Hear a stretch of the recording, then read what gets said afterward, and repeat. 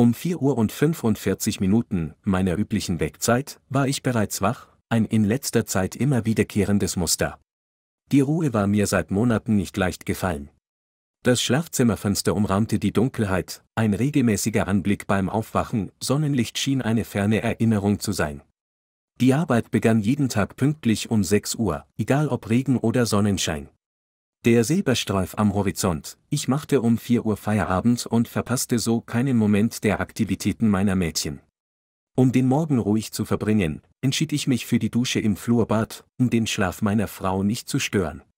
Sie rührte sich bis zum letztmöglichen Moment kaum, denn sie musste um 6 Uhr aus der Tür sein. Um 5 Uhr folgten meine Töchter und teilten sich die gleiche, perfekt geteamte Badroutine. Nach dem Duschen begegnete ich Maria, meiner ersten Tochter, im Flur. Ein Kuss auf ihre halb verschlafene Wange begleitete sie auf dem Weg ins Bad. Ein Blick in Taras Zimmer brachte ein Stöhnen als Antwort auf meine morgendliche Begrüßung hervor. Fünf Minuten später begann ich, angezogen und vorbereitet, mit dem täglichen Ritual der Frühstückszubereitung. Es war zu einer unveränderlichen Routine geworden. Der Kaffee brühte, das Rührei brutzelte in der Pfanne, der Toast knusperte, und der Joghurt wartete auf die Mädchen. Mit ihren 15 und 16 Jahren waren sie in der Lage, das selbst zu erledigen.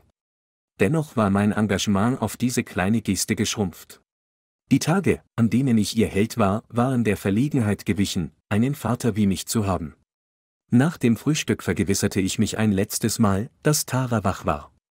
Ich drückte Erin einen Kuss auf die Stirn, obwohl sie nur so tat, als ob sie schläft, und verließ die Garage, bedrückt von der Distanz, die zwischen mir und meiner Familie gewachsen war. Die schmerzhafteste Erkenntnis? Ich hatte sie nicht provoziert. Sie waren einfach nur verächtlich geworden und schämten sich für meinen Beruf. Ich war Sanitärarbeiter. Als ich den Job nach der Highschool bekam, war ich begeistert gewesen. Er wurde besser bezahlt als das, was viele meiner Freunde mit College-Abschluss verdienten. Anfangs sah ich es als vorübergehenden Job an, bis ich etwas im Handwerk fand. Aber als ich entdeckte, dass es sich um einen gewerkschaftlich organisierten Job mit ähnlichen Leistungen wie im Handel handelte, blieb ich dabei. Ich wusste, dass ein fehlender Abschluss bedeutete, dass ein Aufstieg in einem Unternehmen unerreichbar war, und seltsamerweise fand ich das in Ordnung. Nach 25 Berufsjahren hatte ich eine solide Rente, ein anständiges Gehalt, hervorragende Sozialleistungen und nur noch fünf Jahre Zeit, um mit 50 in den Ruhestand zu gehen. Dann würde sich alles ändern, ich würde meine volle Rente beanspruchen und die Freiheit haben, alles zu tun, was ich wollte. Als ich Erin kennenlernte, schlug sie sich gerade als Kellnerin durchs College. Wir verliebten uns, heirateten, und das Leben war in den nächsten 16 Jahren eine Mischung aus Freude und Herausforderungen. Doch dann geschah das Undenkbare, meine Familie begann sich zurückzuziehen. Ich erinnere mich lebhaft an diesen Moment. Bei Taras Softballspiel erkundigte sich ein anderer Vater nach meinem Beruf. Als ich ihm sagte, dass ich bei der Müllabfuhr arbeite, verzerrte sich sein Gesichtsausdruck, bevor er in Gelächter ausbrach und annahm, es sei ein Scherz. Meine Frau und meine Tochter bekamen Wind von seiner Reaktion, und das war der Beginn meines Abstiegs. Zum ersten Mal schämten sie sich für mich. Es ist ja nicht so, dass ich nach Abfall stinkend zurückkam. Ich fuhr den LKW und brauchte kaum noch auszusteigen. In den Wohngebieten, die ich bediente, übernahm der mechanische Arm die Arbeit. Es war Jahre her, dass ich mich um den schwierigen Teil gekümmert hatte. Sicher, es gab harte Zeiten, aber es war schon lange nicht mehr so düster. Ich duschte sogar jeden Tag auf dem Hof, bevor ich nach Hause ging. Meine Familie hat sich nie beschwert. Sie haben meine Arbeit nie vor unseren Freunden verheimlicht. Es war einfach nur Arbeit, nicht anders, als wenn ich ein Zimmermann oder ein Polizist wäre. Von diesem Moment an änderte sich alles. Kurze Zeit später wurde meine Frau in der Bank, in der sie arbeitete, in die Führungsebene befördert. Die damit verbundene Gehaltserhöhung vergrößerte nur die Kluft zwischen unseren Einkommen. Mich störte das nicht, ich war stolz auf ihren Erfolg, aber ich nehme an, es störte sie. Sie begann, sich schicker zu kleiden und mit Schmuck zu protzen. Es machte mir nichts aus, mit 42 sah sie immer noch umwerfend aus, und ich genoss es, sie so gekleidet zu sehen. Diese Röcke betonten ihre langen Beine, und die Absätze, nun ja, sie wirkten Wunder bei ihr. Sie begann auch, unsere Töchter mit mehr Geschenken zu überhäufen. Das war vielleicht der letzte Strohhalm nach diesem Vorfall. Ihre Einstellung mir gegenüber änderte sich völlig, sie bieteten ihre Mutter praktisch an und gingen über sich hinaus. Ich hoffte, dass es nur eine Phase war, aber die Hoffnung schwand schnell. Früher drehte sich bei meinen Mädchen alles um ihren Vater.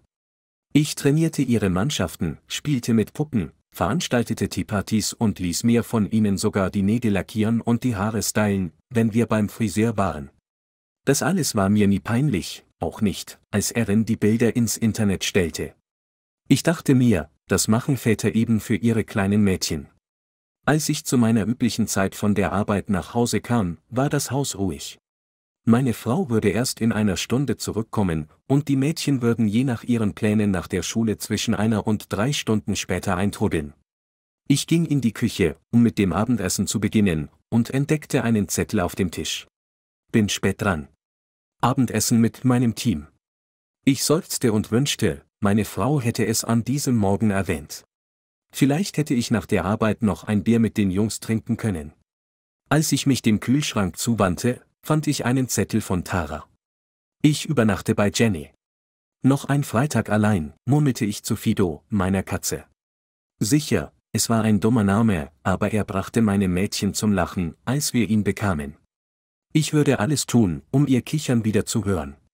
Mir fiel ein, dass ich mich nicht an den letzten Freitag erinnern konnte, an dem Erin zu Hause gewesen war. Es gab immer etwas, Teamessen, Mädelsabend, Managertreffen in Bars, immer irgendeine Ausrede. Der Gedanke an eine Affäre kam mir in den Sinn. Sie kam um 10 Uhr herein, scheinbar nüchtern. Ich hingegen war es nicht. Ich hatte den Abend damit verbracht, meine Sorgen in Jack Daniels zu ertränken. Hi, leite ich. Schön, dass du da bist. Bist du betrunken, Bill? fragte sie. Wahrscheinlich.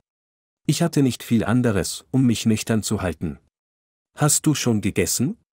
Ich nickte und kippte den letzten Whisky hinunter. Du bist unglaublich. Ich schenkte ein weiteres Glas ein und hielt es ihr spöttisch hin. Ich erfülle nur die Erwartungen. Sie schüttelte den Kopf. Schlaf auf der Couch. Ich will nicht, dass du dich heute Nacht an mir auslässt. Ja, Liebes. Am nächsten Morgen durchdrangen Stimmen meinen schläfrigen Zustand. Das einfallende Sonnenlicht schockierte mich, denn das leere Glas klebte noch immer an meiner Hand, die auf meinem Oberschenkel ruhte, und ich musste eingeschlafen sein. Das Bewusstsein kehrte langsam zurück, als die Stimmen deutlicher wurden. Auch wenn du dich mit einem anderen triffst, ist er immer noch unser Vater, jammerte Taras Stimme. Ihre Vermutung, dass ich zu weit weg war, um sie zu hören, hallte in der Küche wieder. Ich betrüge ihn nicht. So weit sind Jason und ich noch nicht, sagte Erin. Noch nicht, seufzte Maria. Mädchen, wir sind über euren Vater hinausgewachsen. Wir brauchen mehr als einen Müllmann, beteuerte Erin. Jason kann uns ein komfortables Leben bieten und uns aus diesem Streichholzschachtelhaus herausholen. Das ist nicht richtig, wandte Maria ein. Dad mag uns blamieren, aber er ist kein schlechter Vater. Er war auch ein anständiger Ehemann, mischte sich Tara ein, was mir kurzzeitig meinen Stolz nahm. Du bist nicht in der Lage zu reden, erwiderte Erin. Du hast ihm nicht einmal vom Tennis erzählt. Er wird wütend sein, wenn er erfährt, dass du dich zu sehr schämst, ihn zu deinen Spielen mitzunehmen. Tara lachte. Komm schon, Maria. Du hast es doch selbst gesagt, du hoffst, dass er nie etwas über Tennis oder deinen Freund Mike erfährt. Du musst mich meinen Plan ausführen lassen, drängte Erin. Wenn Jason und ich zusammen sind, wird es uns besser gehen. Du willst doch gute Colleges und große Hochzeiten, oder? Ich konnte nicht glauben, was ich da hörte. Meine Töchter versteckten ihr Leben vor mir, und meine Frau plante, mich zu verlassen. Ich schloss die Augen und tat so, als ob ich schliefe, weil ich nicht noch mehr Schmerz ertragen konnte. Mach dich fertig, wir fahren in zehn Minuten los, befahl Erin. Es fühlte sich an wie die längste Wartezeit. Als sich das Garagentor schloss, schaute ich aus dem Fenster und beobachtete, wie sie wegfuhren. Es war der traurigste Moment. Meine Mädchen schämten sich für mich. Erins Pläne, weiterzuziehen, stachen, aber der Verrat meiner Töchter zerriss mich. Ich duschte und überlegte, ob ich gehen sollte, entschied mich dann aber für eine Mahlzeit. Trotz meines Katers wusste ich, dass ich etwas essen musste. Ich überlegte, ob ich fliehen sollte, aber der Gedanke, Das Geld für ein Motel auszugeben, schreckte mich ab. Ich könnte auf der Couch pennen und mich genauso verloren fühlen. Ich schlenderte in das örtliche Familienrestaurant und setzte mich an die Bar. Obwohl ich Stammgast war, überraschte mich der Anblick einer auffälligen Rothaarigen hinter dem Tresen. Was kann ich Ihnen bringen? rief sie. Einen schwarzen Kaffee, bitte. Wie immer Kekse mit Bratensoße und Spiegeleiern und dazu Speck, antwortete ich und stellte meine Tasse hin. Klingt lecker. Das werde ich mir merken. Es ist meine erste Woche, sagte sie mit einem Augenzwinkern und stellte sich als Melody vor. Ich bin Bill. Sie schlenderte davon, und ich konnte nicht umhin, ihre Figur in den schwarzen Leggings zu bewundern. Die traditionellen Kellnerinnenröcke hatte man hier abgeschafft. Während meines Essens servierte Melody mehr als nur das Essen, ein Hauch von Flirt, von dem ich wusste, dass er wahrscheinlich nur für ein besseres Trinkgeld gedacht war. Da ich ein verheirateter Mann bin, blieb ich freundlich, aber distanziert. Als ich meine Rechnung begleichen wollte, fiel mir ein kleines Mädchen auf, das hinter der Kasse mit Malen beschäftigt war. Sie saß in der Kabine, in der normalerweise der Besitzer saß, und lieferte sich mit ihm einen spielerischen Krieg mit Buntstiften. Hast du noch mehr Familienzuwachs, Al? Ich stichelte. Er gluckste, das ist Melodis Kind. Ihr Babysitter ist heute krank. Du scheinst es im Griff zu haben, bemerkte ich. Du kennst mich, Bill. Zwei aufs College geschickt, zwei durch das Fenster verloren, scherzte er und zitierte eine alte Filmzeile. Wir lachten gemeinsam, ich bezahlte meine Rechnung, und als ich das Restaurant verließ, fühlte ich mich seltsamerweise leichter. Ein bisschen Geplänkel von Melody hatte meine Laune mehr gehoben, als ich erwartet hatte. Um mich von den familiären Sorgen und den Gedanken an Melodies Hintern abzulenken, beschloss ich, nach Hause zu fahren und die Gartenarbeit in Angriff zu nehmen.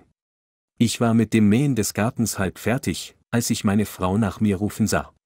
Ich ignorierte sie und tat so, als würde ich sie nicht hören oder sehen.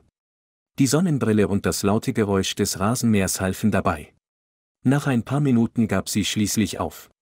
Ich war nicht darauf vorbereitet, mich mit ihr auseinanderzusetzen. Ich hatte immer noch keine Ahnung, was ich tun sollte. Ich wollte am liebsten abhauen und unser ganzes Geld mitnehmen, aber wir hatten nicht genug Geld, um bis zur Rente davon leben zu können. Ich musste mir nur überlegen, wie ich ihr bei der Scheidung den größten Schaden zufügen konnte. Wenn sie aussteigen wollte, konnte sie das tun. Ich hoffte, dass ich das Haus bekommen würde und sie zu ihrem Liebhaber ziehen könnte. So wie es sich anhörte, würde sie die Mädchen mitnehmen. Als ich fertig war, spritzte ich mit dem Gartenschlauch das Gras von meinem Rasenmäher und stellte die Säcke mit dem Grasschnitt neben die Garage. Ich ließ mir so viel Zeit wie möglich mit dem Trimmen und Umranden, und als ich fertig war, gefiel mir das Aussehen von allem. Ich entschied mich dagegen, den Trimmer für Ehrens Blumen zu benutzen, ich dachte mir, dass ich sie später einfach wieder einpflanzen müsste. Tara hüpfte aus dem Haus und fragte, Dede, kannst du uns ins Kino fahren? Wir wollen uns mit ein paar Freunden Barbie ansehen. Ich fragte mich, ob es sich bei einem dieser Freunde um den Freund handelte, den Maria vor mir versteckte. Nein, bellte ich. Ich bin beschäftigt. Dede, stöhnte sie. Mama geht zu einem Theaterstück und kann uns nicht fahren. Ich drehte mich zu ihr um, mit wem geht sie denn zum Theater? Tara sah erschrocken aus und stotterte, ich weiß es nicht. Da musst du sie fragen. Ich schärfte wieder die Klinge meines Rasenmähers und sagte, wie auch immer. Dad, was ist mit dem Film, bettelte sie. Fahrt mit euren Fahrrädern oder lasst euch von jemand anderem mitnehmen. Ich bin beschäftigt. Sie stand ein paar Augenblicke lang da, während ich ihre Anwesenheit weiterhin ignorierte.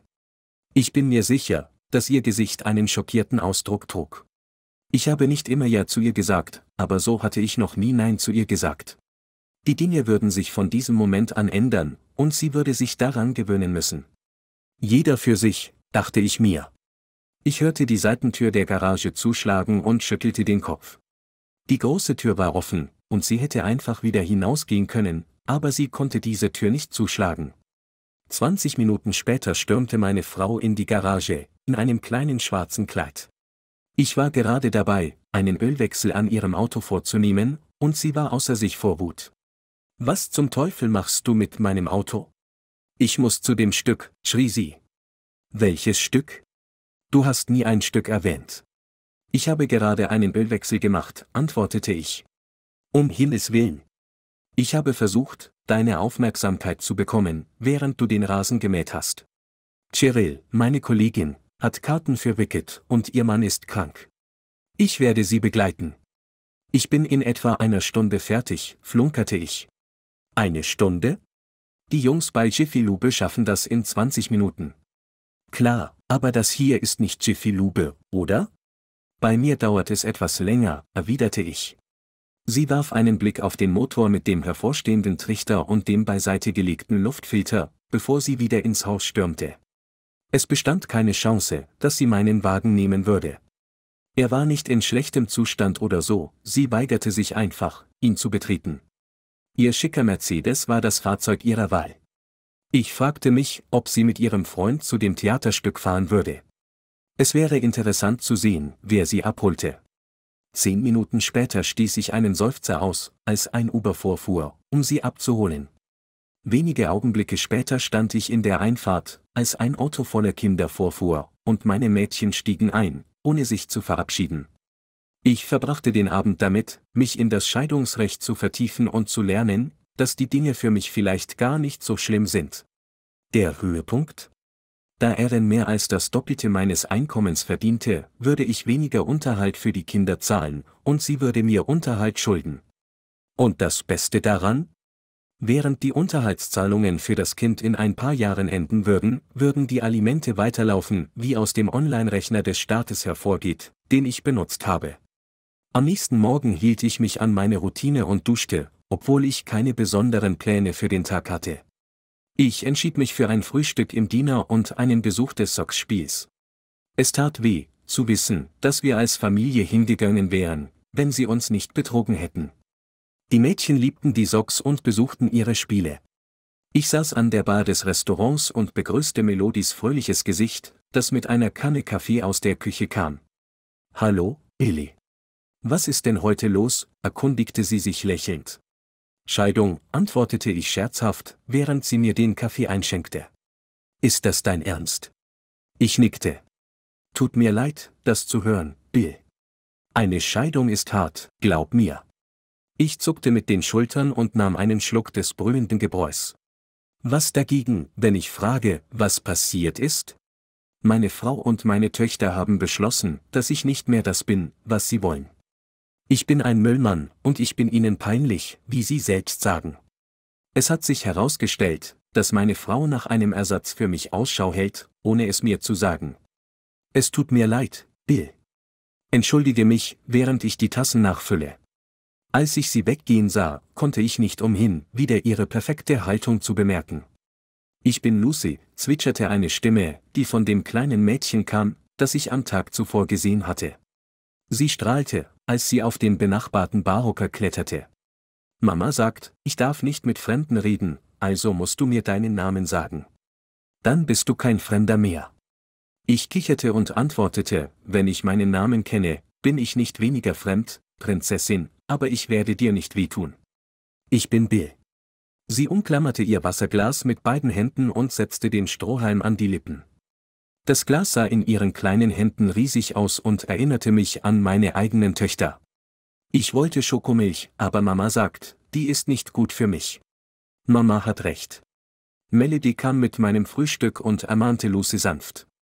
Lucy, bitte belästige die Kunden nicht. Ich will keinen Ärger. Sie macht keinen Ärger, versicherte ich mit einem Lächeln. Es ist schön, etwas fröhliche Gesellschaft zu haben. Möchtest du ein Stück Speck, Lucy, bot ich ihr an. Sie strahlte und nickte eifrig. Ich schob ihr den Teller hin und sie schnappte sich ein Stück, als wäre es das letzte auf Erden. Ich kicherte, als sie sich das ganze Stück in den Mund schob. Ganz ruhig, Kleines. Das geht nirgendwo hin. Sie kicherte und hüpfte vom Hocker, um sich anderweitig umzusehen. Was hast du auf dem Herzen, Bill? erkundigte sich Melody, während ich die unbändige Energie ihrer Tochter beobachtete. Ich denke nur über meine Mädchen nach. Ich kann mir nicht vorstellen, wie sie mir das antun konnten. Ich schilderte die Einzelheiten, wie es meinen Mädchen peinlich war, mich bei ihren Spielen dabei zu haben, wie Maria nicht wollte, dass ich ihren Freund kennenlerne, und wie meine Frau meinen Ersatz heranzog. Ich fühlte mich total verarscht. Melody berührte meine Schulter und fragte, geht es dir gut? Ja, mir geht es gut. Ich zweifle nur noch an der ganzen Scheidungssache. Vielleicht ändert sie ihre Meinung und verlässt mich nicht? Hört sich an, als wäre sie es nicht wert, dass man sie zurückholt. Ich war überrascht von der Schärfe in ihrer Stimme. Wahrscheinlich nicht, aber ich habe keine besseren Möglichkeiten. Keine Frauen, die mir die Tür einrennen. Sie lachte. Bill, du wirst eine Zeit lang nicht mehr ausgehen. Du kannst nicht einfach von einer Frau zur nächsten springen. So funktioniert das im richtigen Leben nicht. Ich wusste, dass sie recht hatte. Es war töricht von mir, mir sofort nach dem Ende der Beziehung Gedanken über einen Ersatz für Erin zu machen. Sie drehte mein Gesicht zu dem ihren. Hören Sie, Sie scheinen ein guter Kerl zu sein. Verdammt, meine Tochter hat mit Ihnen gesprochen. Sie hat drei Tage gebraucht, um mit meinem Chef zu reden. Sie muss ihre positiven Seiten sehen. Ich gluckste. Du merkst es wahrscheinlich nicht, weil du dieser Frau so zugetan bist, aber es gibt Frauen, die dich gerade abchecken. Du bist ein hübscher Kerl und in guter Form. Wenn du dich etwas weniger wie ein alter Bauer anziehen würdest, wärst du ein toller Fang. Alter Bauer? Ich jammerte. Sie lachte wieder, ein Geräusch, das ich langsam zu schätzen lernte. Yep. John Deere Hut. Weißes T-Shirt mit einer Tasche. Alte Jeans. Verdammt, du hast sogar ein rotes Taschentuch, das aus deiner Gesäßtasche ragt. Daraufhin hob ich die Augenbrauen. Was, zwitscherte sie. Glaubst du, du bist der Einzige, der den Leuten auf den Hintern guckt? Komm schon, ISS auf. Sie ging weg, um sich um ihre Tische zu kümmern, und verschonte zumindest meine grasbefleckten, stereotypen, erinnerungswürdigen Date-Turnschuhe. Ihr wisst schon, die New Balance Sonderangebote. Nach ein paar Minuten wurde mein Kaffee nachgefüllt. Es dauerte keine zwei Bissen von meinem Frühstück, bis Lucy sich wieder auf den Stuhl neben mir setzte. Mama hat gesagt, ich soll dich in Ruhe lassen. Du willst doch nicht, dass ich dich in Ruhe lasse, oder? Ich lachte und reichte ihr ein weiteres Stück Speck. Nein, Prinzessin. Du kannst mit mir reden. Warum isst du alleine? Hast du keine kleinen Kinder? fragte sie. Ich zwang mich zu einem Lächeln und antwortete, früher hatte ich welche, aber sie sind jetzt älter. Mit ihrem Vater essen zu gehen, wäre einfach langweilig für sie. Gibst du ihnen keinen Speck? Ich kicherte und antwortete, doch, natürlich. Aber sie sind mit mir aufgewachsen. Heutzutage stehen sie mehr auf Joghurt. Sie rümpfte die Nase und rief, Igitt, eklig. Seufzend aß ich den letzten Biskuit und die Soße auf und sagte, also, Prinzessin, wir sehen uns später. Du gehst schon? Melody tauchte hinter uns auf. Ja, wir gehen zum Ballspiel und dann noch kurz zum Baumarkt, antwortete ich. Klingt nach Spaß. Ich war noch nie bei einem Spiel, bemerkte sie. Oh ja, heute ist Kindertag. Als meine Mädchen klein waren, sind wir immer hingegangen. Sie waren immer so aufgeregt, wenn sie die Basis abliefen, dass es schwer war, sie vom Spielfeld zu bekommen. Cool, sagte sie. Habt einen. Ich konnte es kaum glauben, aber die Worte purzelten mir aus dem Mund, willst du mitkommen? Ich war überrascht, ich hatte nicht einmal darüber nachgedacht, bevor ich fragte. Nein, das können wir nicht tun. Es ist. Komm schon, Mama, bitte? Ich will auf dem Feld laufen, mischte sich Lucy ein. Weißt du, wie man die Basis abläuft? erkundigte ich mich. Sie nickte enthusiastisch. Ja, ich habe letztes Jahr Abschlag gespielt. Ich war bei den Biers. Ich warf Melody einen lächelnden Blick zu. Na, Mon? Was sagst du dazu? Das Spiel ist um eins. Wir haben noch viel Zeit. Sie zögerte, biss sich auf die Lippe, sagte aber schließlich, okay. Ich bin hier um elf fertig, wenn die Essensfrau kommt. Bist du sicher, dass es kein Problem ist? Auf jeden Fall. Lucy begann aufgeregt zu klatschen. Ich hole dich dann um elf ab. Als ich die Rechnung bezahlte und mich von Al verabschiedete, konnte ich mir das Grinsen nicht verkneifen. Aber was um alles in der Welt tat ich da? Als ich die Garage betrat, stellte ich meine Home Depot Taschen auf der Werkbank ab. Ehrens Auto war nicht da, aber ich wischte es ab. Ich zog mein altes Paul Conerco-Trikot an und suchte meine vertraute, abgenutzte Socksmütze, dasselbe Outfit, das ich zu jedem Spiel mit den Mädchen trug. Daddy, Gehen wir zu dem Spiel? fragte Maria. Nö, ich gehe zum Spiel. Was meinst du? Du gehst ohne uns, protestierte sie. Stimmt. Ich setzte meinen Hut auf und ließ sie im Flur stehen, verblüfft über die plötzliche Veränderung. Als ich rückwärts aus der Einfahrt fuhr, sah ich Erin vorfahren. Sie hupte und winkte, aber ich fuhr vorbei und ignorierte sie. Augenblicke später klingelte mein Telefon. Ja, antwortete ich auf dem Lautsprecher.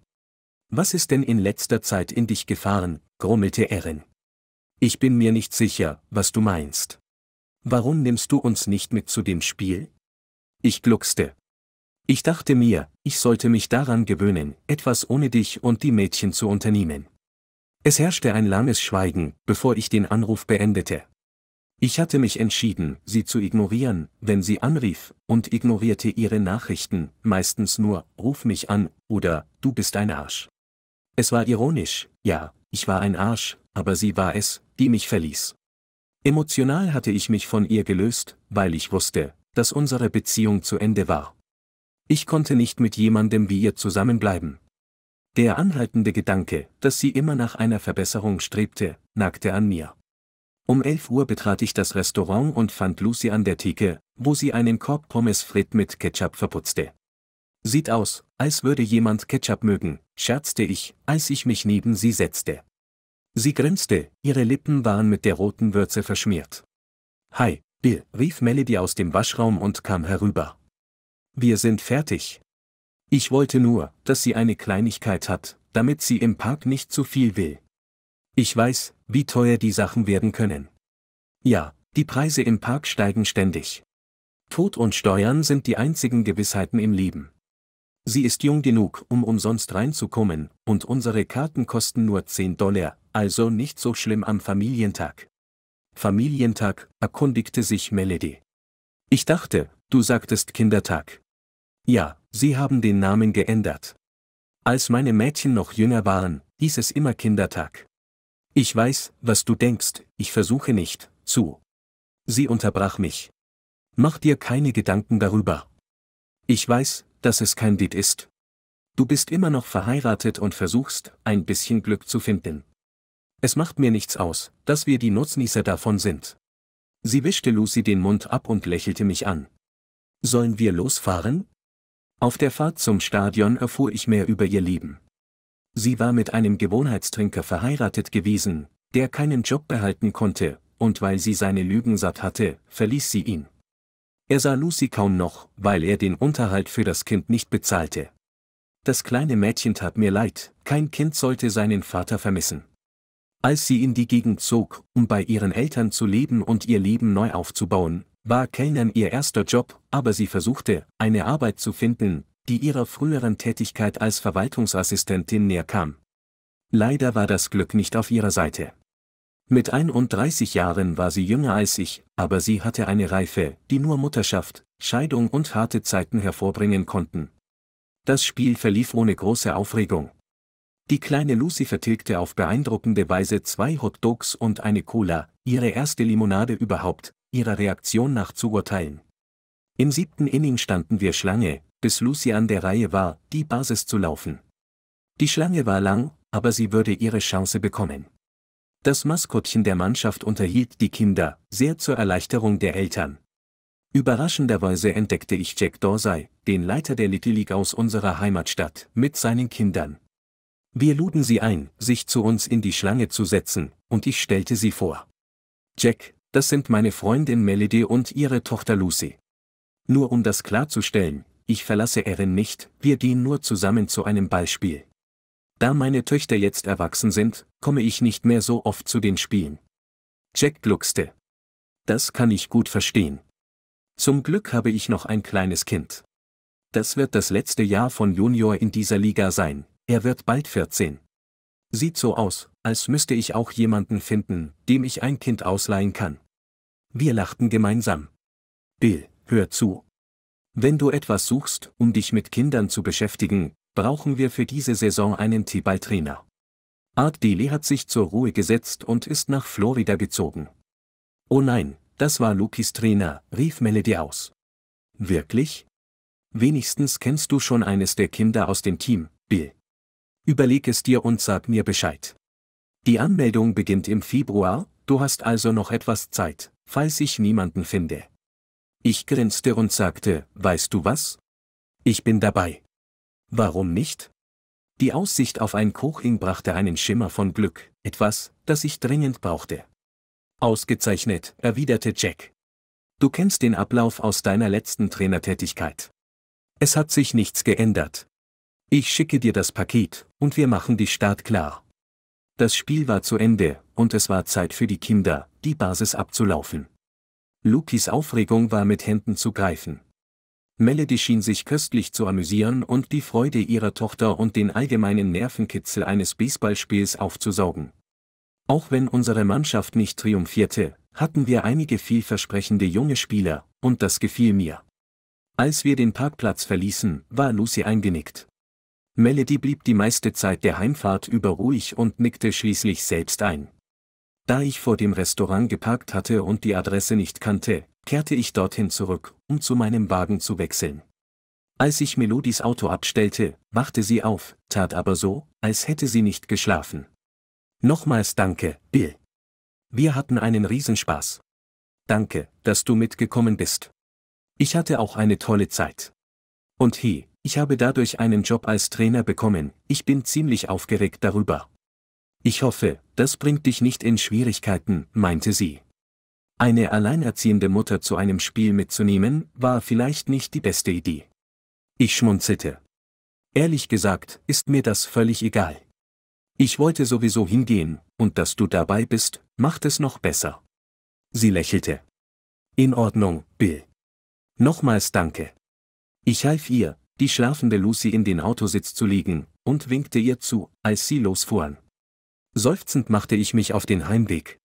Ich wusste nicht, was mich erwartete, aber die bröckelnde Ehe musste irgendwann ihr Ende finden.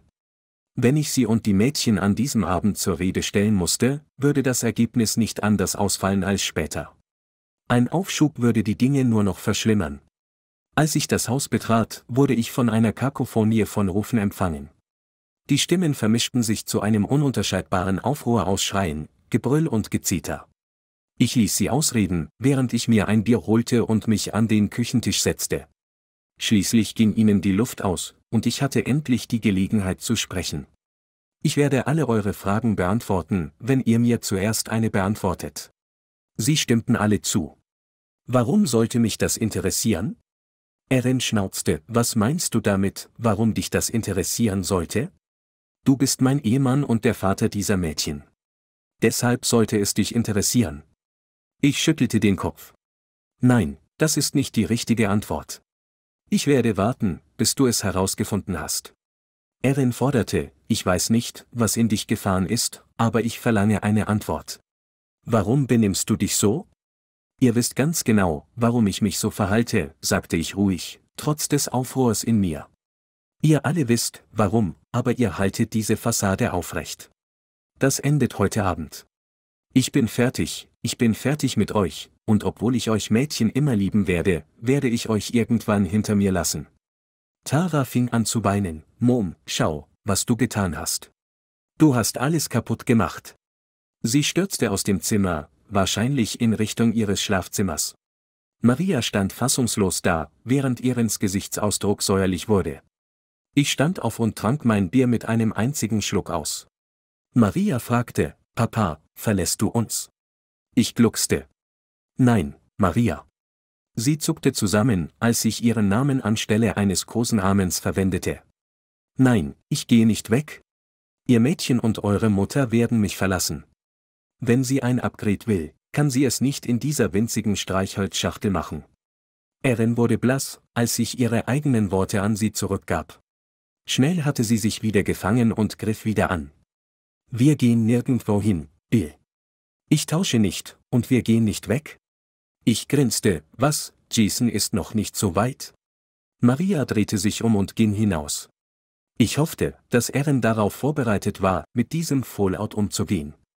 Ich war überrascht, dass die Mädchen nicht sofort auf den Zug aufsprangen, als ihnen die Realität der Situation bewusst wurde.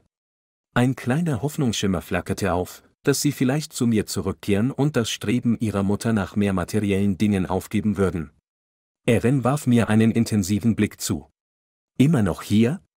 Dachtest du, ich wüsste nichts von Jason und deinem Plan, aufzurüsten, hm? Raus hier, verdammt. Dein Anblick macht mich krank. Sie ging ohne ein Wort, und ich sah zu, wie sie ohne eine Reaktion wegfuhr. Ich konzentrierte mich darauf, die Schlösser auszutauschen, und so vergingen anderthalb Stunden, in denen ich das Haus sicherte. Die Zeit des Abendessens rückte näher, was mich dazu veranlasste, nach den Mädchen zu sehen. Als ich sie in Taras Zimmer fand, brach ihre emotionale Umarmung bei meinem Anblick meine Entschlossenheit. Daddy, rief Tara und umarmte mich fest, bald darauf kam Maria hinzu. Daddy, es tut uns leid. Wir lieben dich, bitte lass uns nicht weggehen. Ihre Tränen bohrten sich in mein Herz, während sie sich an mich klammerten. Mädchen, das ist eure Entscheidung. Ihr seid diejenigen, die sich für mich schämen und einen anderen wollen. Nein, Daddy, protestierte Maria durch ihre Tränen hindurch. Wir wollen keinen anderen. Vielleicht nicht, aber ihr verbergt Dinge vor mir. Freunde, Tennis, du verheimlichst mich vor deinen Freunden. Freunde, die ich trainiert, herumgefahren, beschützt habe. Jetzt schämst du dich für mich. Sie weinten weiter, aber ich konnte nicht noch mehr Schmerz ertragen. Als ich mich zum Gehen wandte, hielt mich Maria fest und flehte mich an zu bleiben. Was willst du von mir, Maria? Was soll ich denn sagen? Du brichst mir das Herz, wenn du diese Spielchen spielst. Ich stieß sie weg, zog mich in mein Zimmer zurück und schloss die Tür ab. Ich kämpfte mit meinen Gefühlen, hin und hergerissen zwischen Vergebung und dem Schmerz, den sie verursacht hatten. Schließlich stürmten sie in mein Zimmer, und wir umarmten uns, wobei ihre Tränen meine Schultern durchnässten. Sie waren meine Welt, aber Vergebung würde nicht leicht fallen. Ehrens Plan mit Jason geriet ins Stocken, als er keine Lust hatte, zwei Teenagermädchen in seiner Junggesellenbude unterzubringen. Überraschenderweise verlief der Scheidungsprozess reibungslos. Man einigte sich auf das gemeinsame Sorgerecht, und da die Mädchen bei mir bleiben wollten, während Erin zu Jason zog, wurde das Sorgerecht ohne Streit geregelt. Die Unterhaltszahlungen und der Kindesunterhalt zogen einen Teil von Ehrens Gehaltserhöhung aufgrund ihrer Beförderung ab, aber für mich war es das Wichtigste, meine Mädchen zu haben. Die Mädchen schlugen nicht auf ihre Mutter ein, wie ich gehofft hatte. Erin überhäufte sie weiterhin mit Geschenken und kaufte sogar ein gemeinsames Auto für die beiden. Nach der Gerichtsverhandlung hatte ich kaum noch Kontakt zu ihr, so dass ich ihre Gefühle nicht einschätzen konnte. Solange die Alimente und der Kindesunterhalt gezahlt wurden, war das genug. Es dauerte Monate, bis die Mädchen und ich unsere Beziehung wieder in Ordnung gebracht hatten. Sie behaupteten, ihre Mutter habe ihre Verlegenheit mir gegenüber beeinflusst, was ich nicht ganz akzeptieren konnte. Doch als sie mich wieder mit ihren Freunden bekannt machten und mir die Sportpläne übergaben, beschloss ich, die Vergangenheit verblassen zu lassen. Die Dinge schienen sich zu normalisieren, aber ich blieb wachsam, was ihren Umgang mit mir betraf. Eine Überraschung für die Mädchen war das Sparkonto, das ich für sie eingerichtet hatte. Erin hatte sie über die Ausgaben für das College getäuscht und den Eindruck erweckt, dass sie einen Kredit brauchen würden. Ich enthüllte die Wahrheit, ein Maklerkonto, das ich seit ihrer Geburt eingerichtet hatte, würde den größten Teil ihrer Ausbildung abdecken. Erin hatte es bei der Scheidung nicht angefochten, am Tag nach dem endgültigen Scheidungsurteil ging ich in das Restaurant, um Melody zu sehen. Wir hatten wöchentlich gemeinsam gefrühstückt, waren aber nicht ausgegangen. Das wollte ich ändern. Hallo, begrüßte sie mich, als ich mich an der Theke niederließ. He. Es ist offiziell, die Scheidung ist durch. Sie zog eine Augenbraue hoch und schenkte Kaffee ein. Ich dachte, jetzt, wo ich Single bin, darf ich dich vielleicht ausführen. Ihr Lächeln wurde breiter. Wie ein Date. Nicht, wie ein Date. Ein richtiges, stellte ich klar.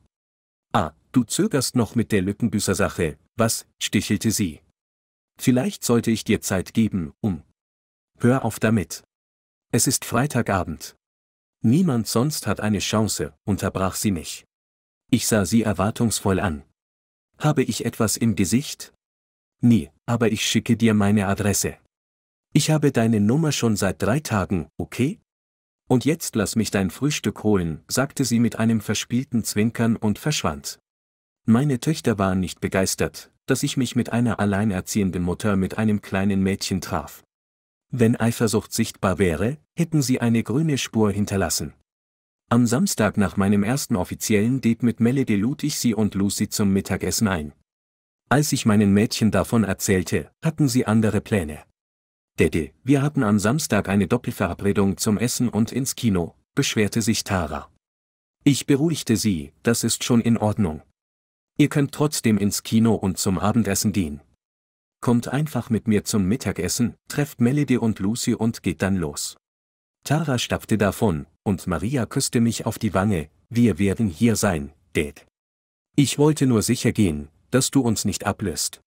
Sie schlenderte davon, als hätte sie eine Bedrohung, die sie von mir vermuteten, triumphierend abgewehrt. Ihr Verhalten beunruhigte mich, aber ich versuchte, es abzuschütteln. Ich stand früh auf, bereitete meine Grillmischung vor und bereitete die Rippchen und Hähnchenschenkel zu. Während die Rippchen langsam garten, bereitete ich meine Barbecue-Soße vor. Ich war kein Grillmeister, aber jetzt, da ich Single war, beschloss ich, den Smoker zu kaufen, gegen den Erin immer ein Veto eingelegt hatte. Mir wurde klar, dass es eine Menge Dinge gab, die ich mir wegen ihr verweigert hatte. Als ich den Kartoffelsalat vorbereitete, klingelte es an der Tür. Ich versuchte, vor meinen Töchtern zu öffnen, aber sie kamen mir zuvor. Melody war noch nicht eingetreten, als meine Töchter sie schon mit Fragen löcherten. Wo wohnst du? Wo arbeitest du? Wie alt bist du? Bist du geschieden? Sie ließen sie nicht zu Wort kommen. Mädels. Maria und Tara, tretet bitte zurück, mischte ich mich ein. Tut mir leid wegen Ihnen, Melody. Ich schaute meine Töchter an, verwirrt über ihr Verhalten. Ist schon gut, Bill, antwortete sie sanft. Sie sind auf ihre Art beschützerisch. Ihr Lächeln war rasiermesserscharf. Wie auch immer, fuhr ich fort. Das sind Tara und Maria. Mädchen, das sind Melody und Lucy. Lucy versteckte sich hinter ihrer Mutter. Ich hatte das aufgeschlossene kleine Mädchen erwartet, aber sie wirkte zurückhaltend. Ich griff nach Lukis Hand und führte sie aus dem Schutz ihrer Mutter heraus. Sie blickte zu meinen finsteren Töchtern auf und zog sich an meine Seite zurück. Ihre Mienen veränderten sich, als sie meine Enttäuschung sahen. Melody, schlug ich vor, warum gehst du nicht mit Lucy in die Küche? Ich bin gerade mit dem Kartoffelsalat fertig. Vielleicht möchte sie beim Umrühren helfen? Meine Töchter schauten finster drein.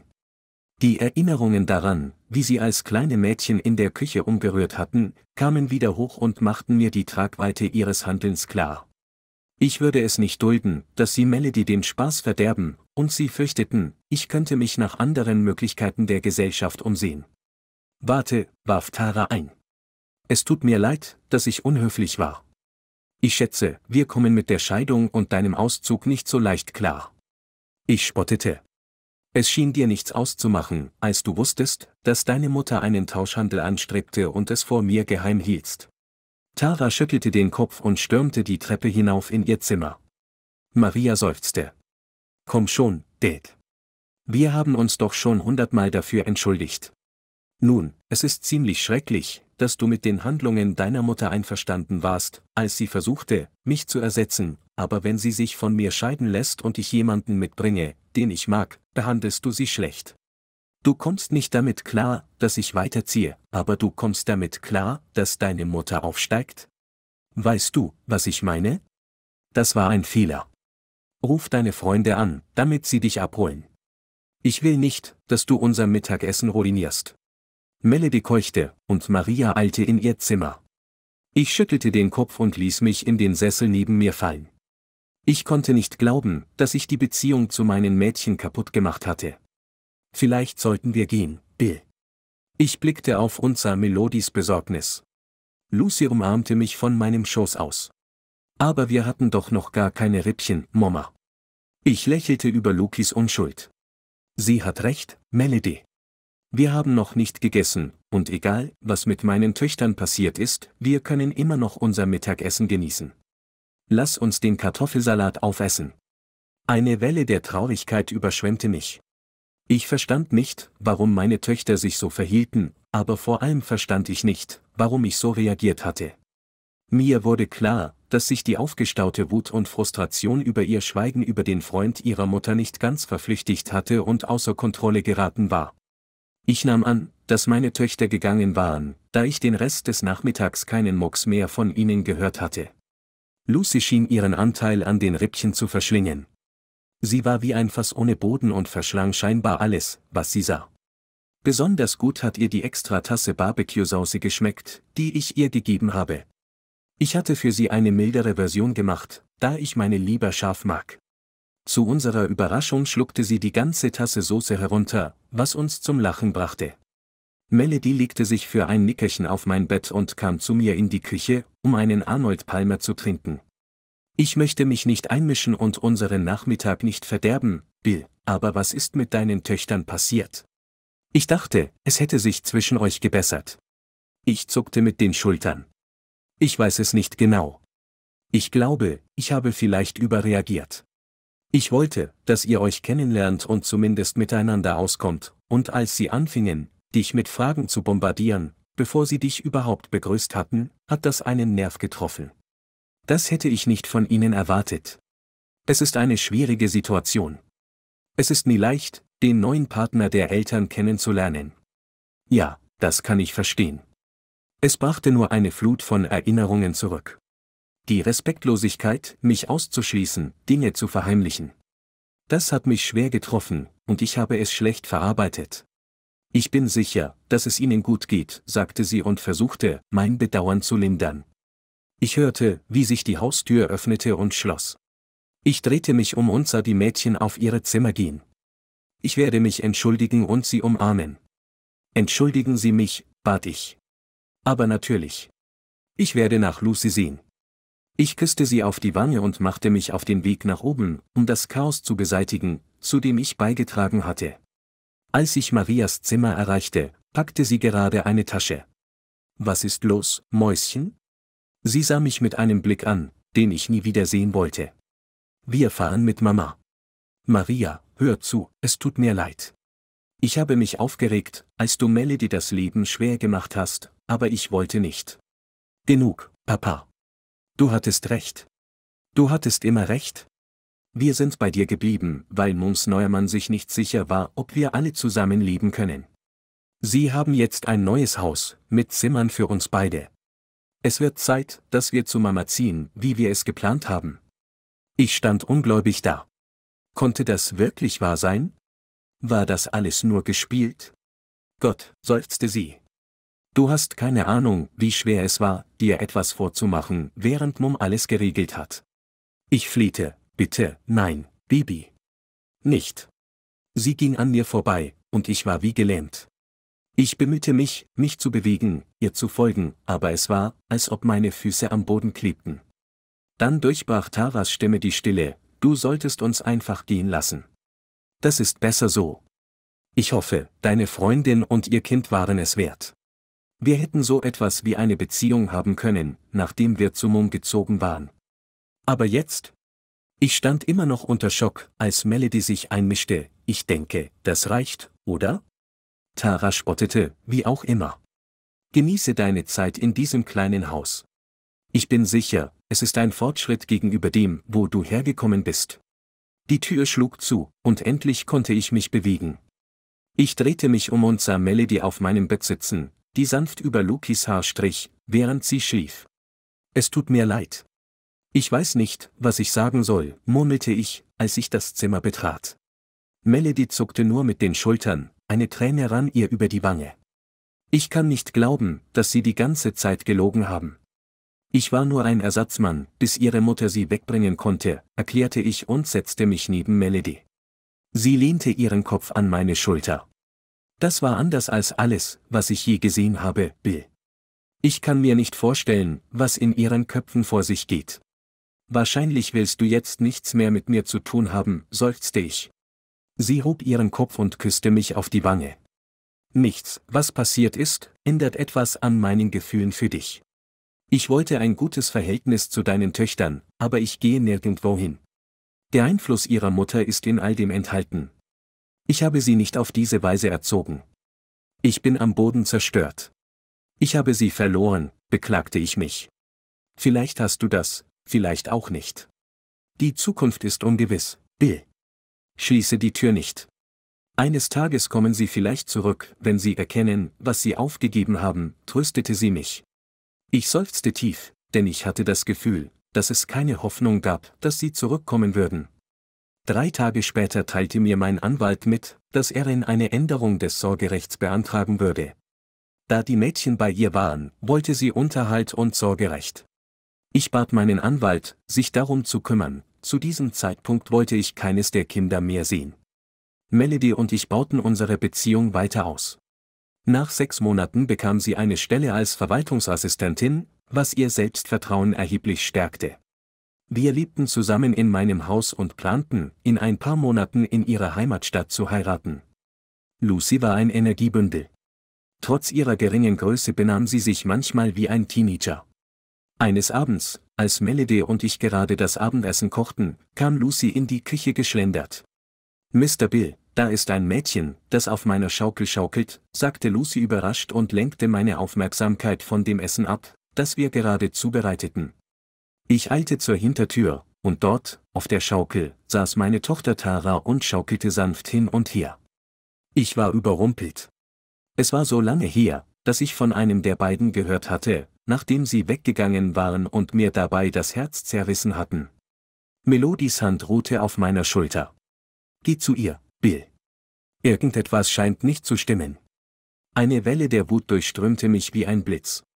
Die Vorstellung, dass jemand einer meiner Töchter etwas angetan haben könnte, war unerträglich. Die Schiebetür öffnete sich mit einem lauten Geräusch. Tara stand mit dem Rücken zu uns und versuchte zu fliehen, als sie das Geräusch hörte. Tara, warte, rief ich. Sie ignorierte mich und eilte davon. Als ich vor dem Haus ankam, brauste ihr Auto bereits die Straße hinunter. Ich spürte, wie Lucy meine Hand nahm und fragte, war das deine gemeine Tochter? Ich hob sie hoch und antwortete, sie waren nicht immer böse, Lucy. Früher waren sie genauso lieb wie du.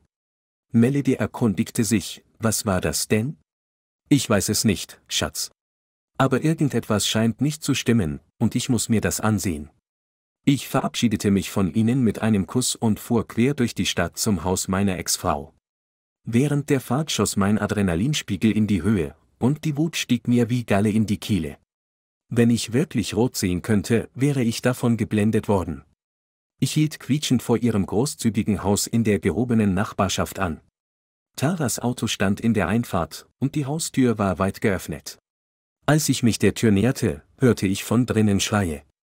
Ich betrat das Haus und sah Maria weinend auf der Couch sitzen, während meine Ex-Frau Tara anschrie.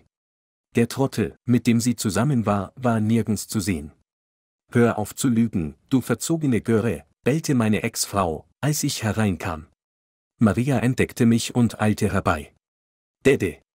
Sie umarmte mich fest, und ich hatte Mühe, die Umarmung zu erwidern. Tara rannte in ihr Zimmer, und Erin starrte mich an. Was zum Teufel machst du hier, Bill, spuckte sie mit zusammengekniffenen, wütenden Augen. Ich will wissen, was mit meinen Mädchen los ist. Oh. Sind sie jetzt deine Mädchen? Monatelang kein Wort, und plötzlich willst du wieder Daddy spielen. Du kannst mich mal, Müllmann. Ich hielt Maria auf Armeslänge und packte sie an den Schultern. Was ist denn los, Maria? Nichts, brüllte Erin. Geh zurück zu deinem Flittchen und lass mich mit meinen Töchtern fertig werden. Tara kam die Treppe hinunter, umklammerte ihr Handy und sah verängstigt aus. Maria sagte zu Tara, zeig es ihm. Sie reichte mir das Telefon mit einem abspielbereiten Video.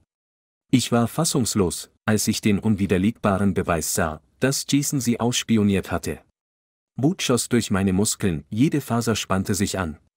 Ich gab das Telefon an Tara zurück und richtete meinen Blick auf Erin. Das ist alles ein unschuldiges Versehen, Bill. Sie überreagiert, beharrte Erin. Dumpfbacke, wie oft hat er es getan, bevor du ihn aufgenommen hast? fragte ich und versuchte, meinen Thronfall beizubehalten. Dreimal, schluchzte sie. Erin erwiderte, hör auf zu lügen. Ich öffnete meine Arme, und Tara stürzte sich weinend an meine Brust. Mädels, sagte ich so ruhig wie möglich, geht und packt eine Tasche. Ihr kommt mit mir nach Hause. Zu meiner Überraschung stürmten sie die Treppe hinauf. Ich konnte nur hoffen, dass sie meine Anweisungen befolgten. Ich konnte meine Töchter nicht bei diesem Raubtier lassen. Ich starrte Erin mit einem harten Blick an. Ich nehme an, Tara hat dir davon erzählt, und du hast ihr nicht geglaubt. Deshalb hat sie angefangen, ihre Duschen aufzuzeichnen. Das ist nur ein Missverständnis. Er dachte, ich wäre es in der Dusche. Warst du zu Hause, als sie das Video aufgenommen hat? Sie senkte ihren Blick, dann hob sie ihn trotzig. Ja. Bevor ich antworten konnte, kam der Trottel durch die Tür. Nun, der Müllmann kam einen Tag früher. Ich wirbelte herum und versetzte ihm einen Schlag direkt auf die Nase. Alles, was ich in der letzten halben Stunde an Wut empfunden hatte, entlud sich in diesem Schlag. Er sackte auf den Boden, und Blut befleckte den beigen Teppich. Ich rufe die Polizei, kreischte Erin. Du hast den größten Fehler deines Lebens gemacht, du Mistkerl. Ich lächelte sie an, hob meine Augenbrauen und nickte zustimmend. Sie verstand sofort, warf einen Blick auf den sich am Boden windenden Idioten und beendete das Gespräch. Was? Du willst nicht, dass die Polizei kommt, Erin? Warum nicht? forderte ich sie heraus. Geh einfach, flüsterte sie fast. Ich drehte mich um und beobachtete, wie Ellen langsam auf die Beine kam, das Blut tropfte in Strömen. Er machte einen Schritt auf mich zu und versuchte, den Blutfluss mit seinem Hemd zu stoppen. Einen kurzen Moment lang dachte ich darüber nach, wie hart Justin Tucker den Ball für den NFL-Rekord kicken musste, aber dann ließ ich mich darauf ein.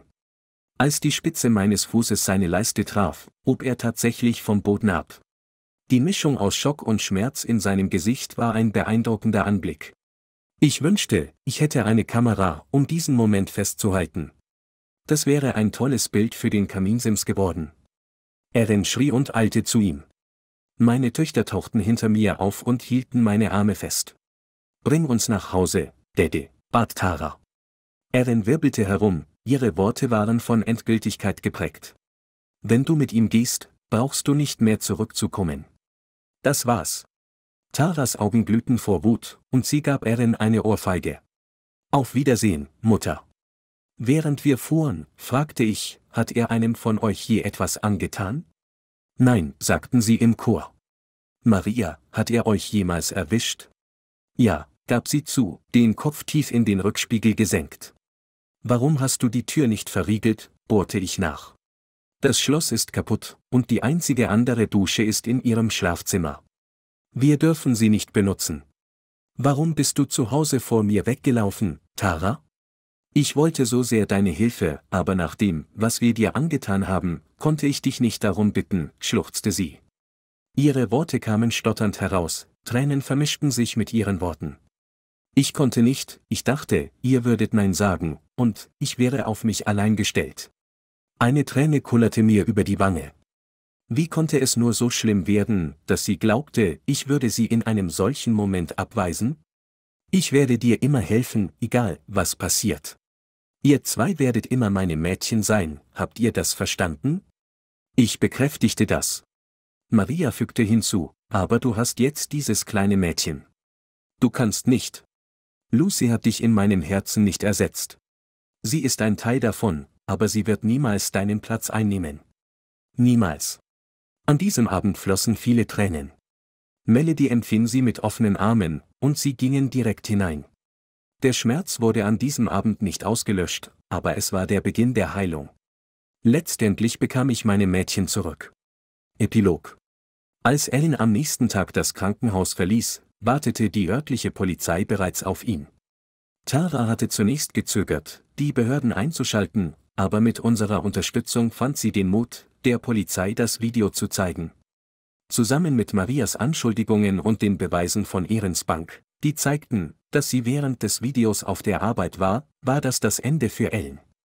In unserem Staat ist Voyeurismus ein Vergehen mit einer Höchststrafe von sechs Monaten, wenn der Vorsatz nachgewiesen wird. Da Maria aber unter 16 und Ellen über 21 war, drohten ihm im Falle einer Verurteilung bis zu zehn Jahre und die Registrierung als Sexualstraftäter. Das von Tara zur Verfügung gestellte Video war ein entscheidendes Beweismittel, das aufgrund einiger rechtlicher Schlupflöcher zugelassen werden konnte, da sie Opfer einer wiederholten Straftat waren. Er erhielt eine zehnjährige Haftstrafe für Maria und sechs Monate für Tara.